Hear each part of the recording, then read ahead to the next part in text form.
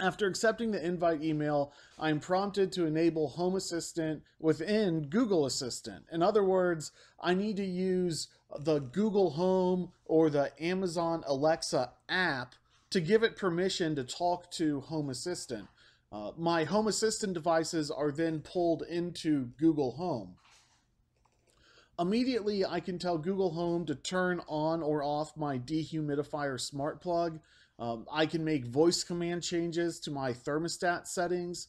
Um, I can ask the status of these devices as well. You know, this is cool because my $65 programmable thermostat was not intended to be voice activated, uh, but because of connecting it to the Home Assistant platform, it now has those features. Um, because it was an Internet of Things device, code has been written by third parties uh, to connect it to voice services.